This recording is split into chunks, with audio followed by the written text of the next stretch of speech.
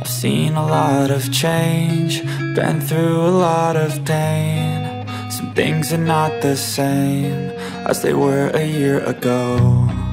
But all will be okay, I move on each and every day. The past is where it stays, way back a year ago. My chat with Chris Murphy back in May 2005. Burnaby, BC, Canada. Gerry, Chris, could you tell me how it happened that you became involved in the subject of Sasquatch? Chris. In 1993, my son, Daniel, was taking an anthropology course at Capilano College. All class members were required to do a presentation, assignment of some sort, and he decided to do a talk on the Sasquatch. Just why he selected this subject, I never asked. He got approval to do the talk and proceeded to put it together. As I had a photocopier, he asked me to make overhead transparencies for him. He found Rene Dahinden's book at the library, Sasquatch slash Bigfoot, by Don Hunter with Rene Dainden, and noted Rene's invitation on page 200 for information on the Sasquatch. As Rene lived in Richmond, very close to Vancouver, Dan telephoned him and asked if he would help with the college project. Rene said he would be pleased to assist, so Dan made an appointment to visit him. As Dan did not have a car, he asked me to take him to Rene's place. This I did, and just sort of sat and listened as Dan asked Rene questions. Rene was very obliging and helpful, he explained the history of the creature and showed us photos and casts. He even gave Dan some photos and a cast from the Patterson slash Gimlin film site. The session lasted for about two hours and arrangements were made to get together again in a few days. I assisted Dan with his presentation, write up, and so forth, and then took him back to see Rene as arranged. By this time, I had started to get interested in the subject. It was all completely new to me, although I had certainly heard of the Sasquatch and recalled seeing the Patterson slash Gimlin film. I also recalled seeing an article in 1982 showing Rant Mullens with a pair of wooden feet, and at that time sort of wrote off the whole issue as a hoax. I had absolutely no idea as to the extent of the phenomenon. Rene was very informative, entertaining, humorous, and a lot of fun. He went out of his way to assist Dan, and we all got along very well. After the college project was completed, we continued to visit Rene. I was considering retirement from work, BC. Tel, and was sort of seeking new interests. I offered to work with Rene in marketing some of his material, posters made from film frames and casts. He agreed, and the more I got involved, the more I learned. After I retired in September 1994, I dedicated a lot of time to the subject and it gradually grew to a passion. Gerry, while it may seem to be a natural progression for a writer to want to write about his passion, wasn't your first involvement with Sasquatch literature the republication of Roger Patterson's book? Chris Roger Patterson's book, Do Abominable Snowmen of America Really Exist, was my first major involvement with Sasquatch literature. Actually, I did not know that Roger had written a book until 1995. As I recall, in that year I found it referenced somewhere and asked Rene if he had a copy that I could borrow. Rene provided a copy and told me that he owned the copyright. After reading the book, I returned it and suggested that we reprint it and market it along with the other items we were offering. By this time, the internet was in full swing and I either had a website or was working on one. Rene was not that big on the idea and suggested that I see if Glenn Coling, who had the original book printed, had any copies we could buy. Coling said he had only a few somewhere, so that really left no choice but to reprint if we wanted to offer the book. On my next visit with Rene, I again suggested we reprint, and this time he agreed. I reprinted 300 books, that's all. Rene was quite impressed with the book, and this led to the reprinting of Fred Beck's booklet, I Fought the Ape Men of MT. St. Helens. Here, again, I had no idea the booklet existed. I went to see Rene one afternoon and he simply handed me the booklet and said, Here, you can do this one also. I've checked with Ronald Beck and he said it was okay. Both books were offered for about two years or so. They were all sold during that time. Gerry, Bigfoot in Ohio, Encounters with the Grassman would have been your first collaboration book on the subject. How did this come into being and is it still in print? Chris, Ohio more or less came to the forefront with me upon release of photographs of a possible nest structure found in Summit County by Joedy Cook, George Clappison, and Terry Endres in February 1995. As I recall, I contacted Joedy for more information, and in the course of providing such, he informed me of an unusual telephone call he had received from a U.S. Army colonel about such structures. Whether this person was who he claimed to be was not verified, however, the story he provided was in my mind very unique, all about a U.S. Army cover up related to Bigfoot. There was also a little mystery associated with the nest photo that Joedy brought to my attention unusual formations in the photo background. My son, Dan, was working with me at that time and we decided to do an article about the nest and the colonel's story. Dan's article, I assisted. The story got front cover prominence in the 1996 summer issue of Unsolved UFO Sightings and Other Unexplained Mysteries. While I don't give much credibility to such stories, there continues to be information surfacing along the same lines. Sometime later in 1995, Joedy sent me a booklet he had prepared on Ohio Bigfoot incidents, asking if I would look at it for possible publication. While it was not suitable as is, I saw that the information provided had potential for a proper book. I thereupon started working with Joedy and George to this end. In 1996, Joedy came out to Vancouver for a Sasquatch symposium and stayed with me for a few days. I got to know him quite well during this time. I published the book in 1997, only about 200 or so copies. Barnes and Noble accepted it for their stores, but their deal was far too rigid. All of the books printed were sold and I did not do another run as I had hardly covered my costs. Over the years, Joedy and I have kept in touch. About one year ago, we decided to update the work and seek a publisher. He sent me a lot of update information and in the course of time I completely revised the book.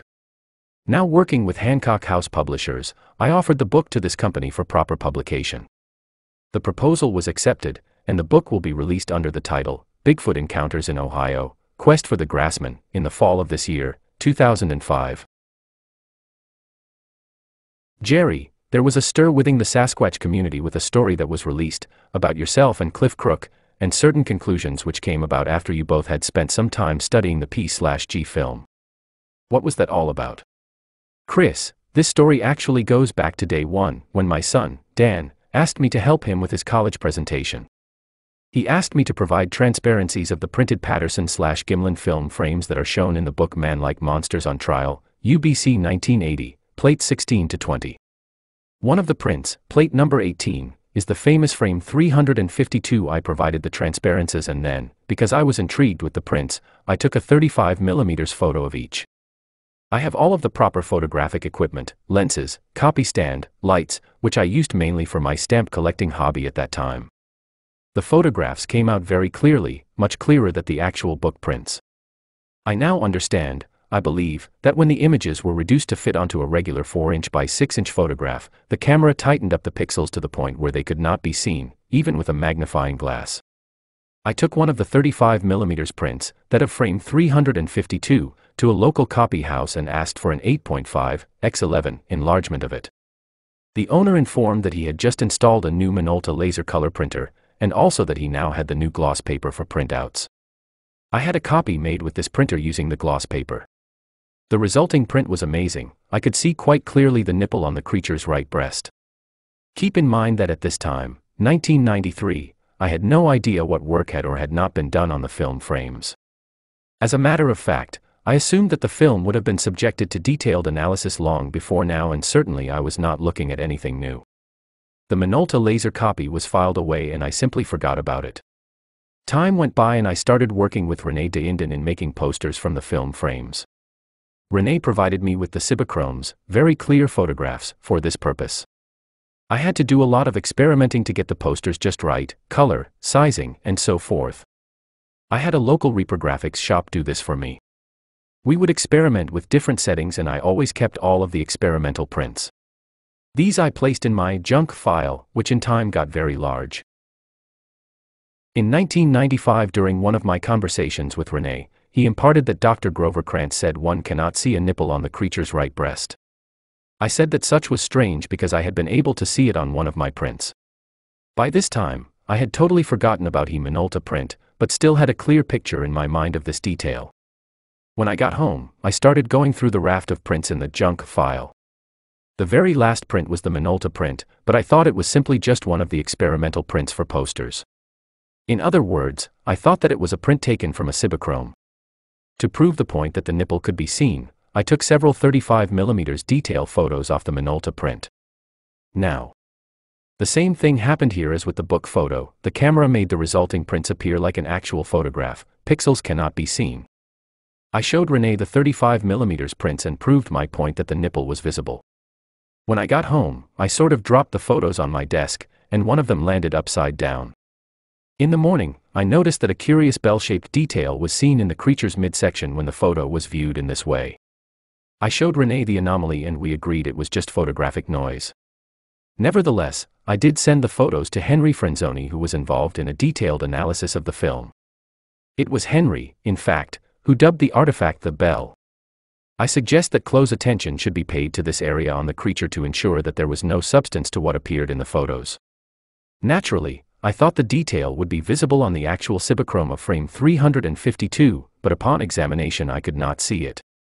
This confirmed to me that the detail was probably just noise, so I dropped the whole matter. When I later discovered that the photographs were taken from the Minolta print, I was further convinced of this. During this time, I learned that very little had been done on the film as to detailed analysis of the film frames. I therefore made close-up 35mm photographs of various parts of the creature directly from the Cibachromes. I did not have a scanner at this time. Remarkably, a detail from frame 323 showed what appeared to me to be the same detail I had seen on frame 352. However, the detail was rotated, more or less upside down as to that seen on frame 352. Also, a trace of the detail could be seen on frame 339 and 350. Now I was in a bit of a state, how could the same noise appear on different film frames? It was now September 1998. The NASI report was out, and Renee and I had parted company. I decided to put together a report on all my findings, there were a number of other curious things as well as the bell, and send it to prominent researchers, Cliff Crook was among these. Over the past year or so, Cliff had sent me a lot of material related to the Patterson slash Gimlin film, court papers and so forth. I knew Cliff was of the opinion that the film was a hoax, and at the time, I definitely had misgivings about some aspects of the film and its circumstances, most of which have now been cleared. Response to my report was mixed. Those who replied, other than Cliff Crook, were noncommittal. Cliff gave the evidence full credibility. In other words, he was convinced that the detail probably existed and could be a man made item. I agreed, and indeed thought right from the start that this was a possible. We both set about to see if anything could be found to match the item, fastening device of some sort. After about two months of searching, nothing was found. In November 1998, Cliff asked my permission to go public with the finding. I said that such would be his call. I envisioned an article in a local, Bothell, WA, paper, and in some ways thought that if a lot of people saw an image of the detail, something might come to light. An article was published in the News Tribune on November 29 showing Cliff's clay model of the detail. The information went to the wire services and ended up in, I am told, some 148 major newspapers worldwide. There was, of course, serious repercussions from the Bigfoot fraternity. I thereupon sent all of my photographs to Dr. Henner Fahrenbach for analysis. He concluded right from the start that details of the size of the bell would not be visible in the film frames and what can be seen is simply photographic noise. I argued that the same noise appears to me to be visible on several frames. I will mention here that I did finally find traces of the detail on the actual Cibachrome of frame 352. My final conclusion on the whole matter is that the detail probably exists, but it is just something caught in the creature's hair or fur and it sort of rotated when the creature moved. That the detail manifested itself into an odd bell-shaped form is just a printing slash photographic anomaly. I do not provide my detail photographs on this whole issue for websites because they will get misinterpreted and the whole thing will break open again. Being a Bigfoot buff, I certainly could have buried the whole thing right from the start, why call attention to possible negative material on the film? Why give the skeptics more to chew on? However, keep in mind that hiding information is wrong. If we are going to resolve the Sasquatch slash Bigfoot issue, then we need to put everything on the table. My mistake was in not getting a professional analysis of the finding before allowing it to be released. Gerry, with all of the controversy surrounding the P/G film, has any valuable information come out of it to enlighten and bolster Sasquatch research? Or is it a bump in the linear study of the Sasquatch, which stands on its own? A singular curiosity, or a detrimental shrine which has been given way too much value. Chris, in a nutshell, the Patterson slash Gimlin film is a paradox, an argument that apparently derives self contradictory conclusions by valid deduction from acceptable premises. C. There can be no argument that the film exists, and that it does depict a physical primate of some sort. Now, to claim that the primate seen is not an ordinary human being, contradicts established scientific findings. There are no other primates native to North American other than human beings, i.e., none that have been proven beyond a doubt to exist. To claim that the primate seen is a human being, man in a costume, contradicts what can be seen in the film, i.e., detailed scientific examination indicates that it is a natural being. Both sides of the argument now get heaped with tons of circumstantial evidence which amounts to absolutely nothing. The non human group, Bigfooters, point to thousands of Bigfoot sightings, footprints, and a raft of other evidence. While this does increase the likelihood that the filmed creature is non human, it does not prove anything. The human group points to testimony, what people have said, and the fact that there is no conclusive hard evidence for such creatures. While this might satisfy some people on the issue, again it does not prove anything. The only way the film can be either positively authenticated or debunked is by finding evidence supporting either stand within the film itself. To do this, one needs to look at details that are far beyond the film resolution. Looking for hoax indicators is futile because even if they were there, they would not be visible, both because they would probably be hidden in the first place, and because they would be too small to see. The only exception here would be a long seam or row of zipper teeth, but even finding something that might appear to be such would be highly inconclusive. So, we have a stalemate, one can't point to the lack of hoax indicators as proof the creature is real, nor can one find such indicators to prove it is a hoax. The evidence we have that indicates the creature is a natural being, in my opinion, outweighs evidence to the contrary. Here, I am referring to the conclusions reached by the North American Science Institute and the Russian hominologists, Igor Burtsev and Dmitry Bayanov. Nevertheless, there is absolutely no way one could prove authenticity beyond a reasonable doubt. One can't get DNA from a strip of 16 mm film. Here I might add that if someone were to come up with a moth eaten costume that appeared to match the filmed creature, how can it be proven it is the same costume? Even if the Sasquatch is never found, the possibility that one of its kind did exist and was filmed walking along a sandbar at Bluff Creek, California in October 1967 will remain. Gerry, because of the internet, is there too much information washing over us now and how do we interpret such? Instead of studying evidence, one has to spend, more and more, time deciding if something is evidence before it can labeled and filed it away. Should we worry? Is all information important information? Or must every little snippet of information be filtered carefully, as to its worth, before being presented before skeptics? Or can we relax and allow the cream of good information to still rise to the top pretty much on its own merits? Does our community require watchdogs and self policing? Chris, the internet certainly brought about more reported incidents. There were probably just as many before, but we did not hear of them. Prior to the internet, if one had a sighting, he or she did not have many choices for making the information known. The media took some, some appeared in letters to major researchers, Dahinden had a big box full, and the rest went nowhere. Now, one has a choice of numerous websites. By the same token, there is likely more fabricated incident reports as a result of the internet. However, I don't believe such are significant in number because there is nothing to gain. It is interesting to note that when computers were introduced into the general business world, we found out just how inefficient we had been. The same can be said for the internet as it applies to Sasquatch sightings. Nevertheless, we must keep in mind that as the people population grows, and more and more people go into wilderness areas, then more sightings will result. This is not an indication of more Sasquatch, just more eyes to see them. Whatever the case, that there are now too many reports to deal with is very true. Here, however, we need to come to grips with the advantage of dealing with reports. Sending someone out to talk with the witness seldom results in getting any more information than what we already have. Verifying the report does not get us any closer to resolving the issue. Really, the only reports we should be looking at are those that include a photograph slash video, hard evidence, scat or hair, or the likelihood that the creature is still in the area. I am not saying that reports are useless, they do provide statistics and ongoing encouragement. I think the point needs to be made that sighting investigations are a reactive process. Really, what we are doing is waiting around for some individual, tourist, truck driver, camper, and so forth, to have a sighting. We then hope that the individual will report the incident, and if he or she does, we hope to be able to come up with some hard evidence related to the incident footprints, hair, feces. We even hope that the creature might still be around. This is a lot of hoping. If you think about it, there are very few people actually looking for the creature, and one cannot really expect to find something if he does not look for it. We need to get proactive and go out specifically and look for the creature, like Patterson and Gimlin. Where should we look? The obvious answer here is where there have been the most recorded sightings, but I am not of that opinion. I believe northern Canada is the best bet, specifically British Columbia. The only reason there have not be a lot of sightings up there is because there are so few people. The same situation here applies to all animals.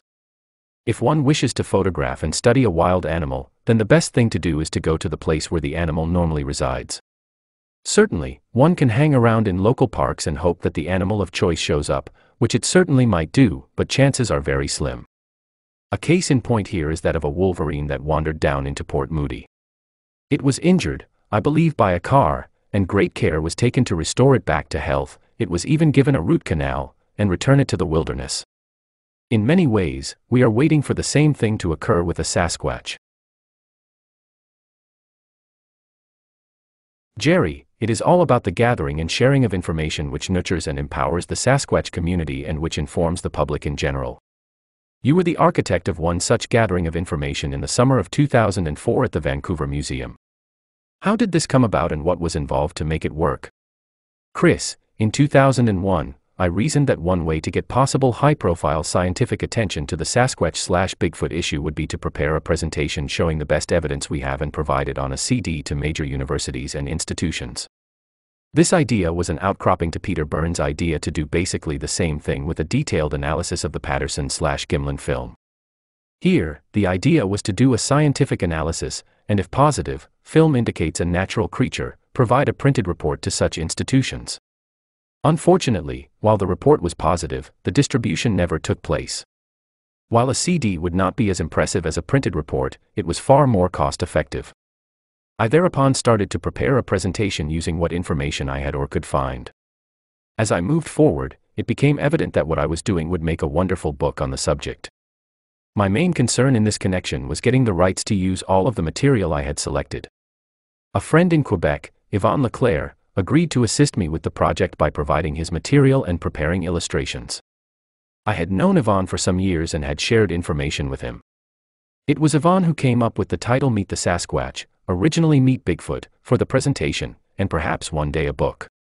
By January 2003, I had a very impressive presentation. In that month, my daughter, Donna, urged me to see an exhibit at the Vancouver Museum on the 50s, this being my time, as it were. After going through the exhibit, I noticed that the museum did not have anything on the Sasquatch. This was particularly odd in that British Columbia is well noted for the creature. I determined that if they would make room for a few items, casts and posters particularly, I would donate such material. I envisioned a cabinet in the corner sort of thing. I was not aware that this museum and the Provincial Museum in Victoria did have Sasquatch related artifacts in storage.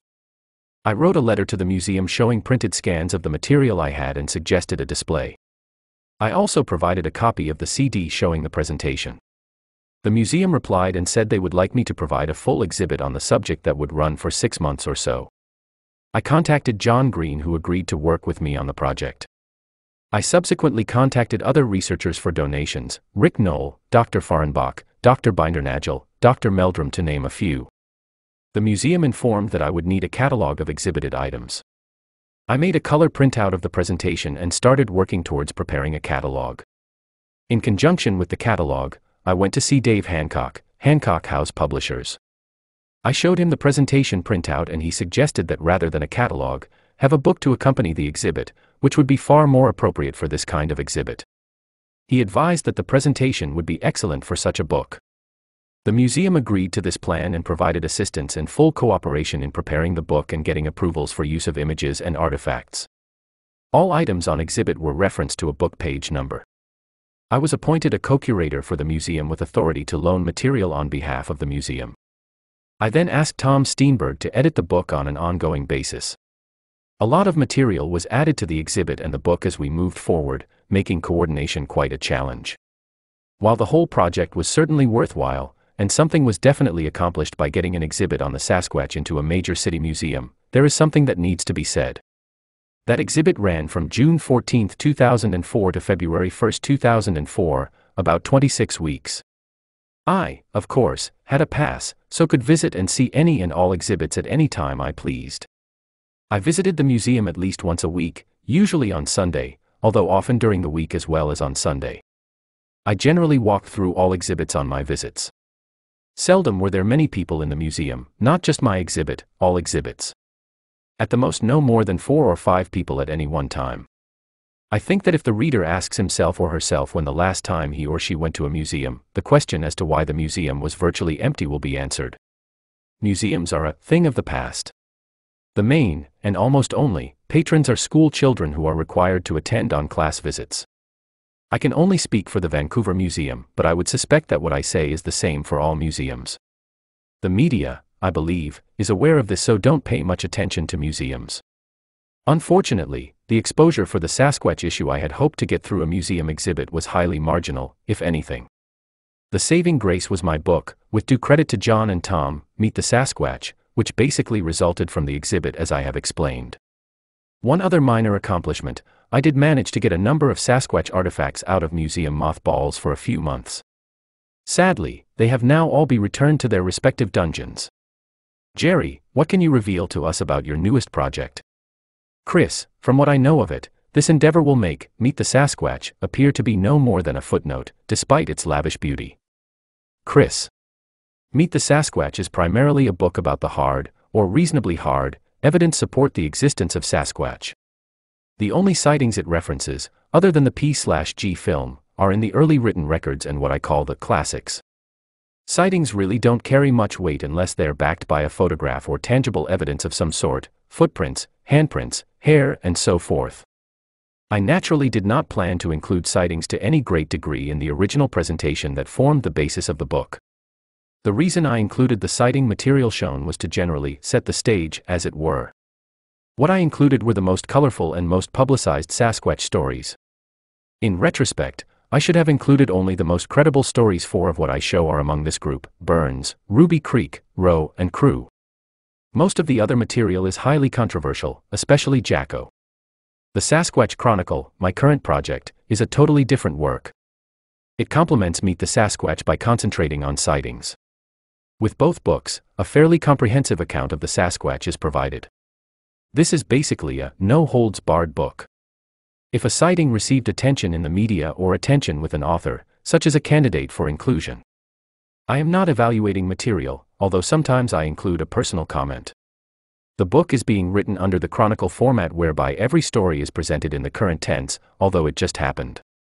In other words, the reader is automatically put into the story time frame, he or she is not transported back with past date references. Where subsequent events have occurred related to the same story, I include a fast forward section to bring the reader up to date. The book will be a highly illustrated work with as many photographs and illustrations as possible. From the outset, it needs to be understood that this book is about what people have said occurred. I have no way of disproving their stories and I really can't play judge and jury. I must let readers decide for themselves as to the merits of the material presented. People have all sorts of different belief systems. What might be highly credible to one person is totally without credibility to another. Nevertheless, I draw the line at the tabloids and what I consider pure nonsense. This segment ends here. To be continued another day. Many thanks to Chris Murphy for sharing his time and inviting me to his home. Okay, dear listener, that about wraps it up for now. My name is Gerry Matthews. You can reach me at yellowcoyote at telus.net. Thank you for your interest, and until the next time, keep searching.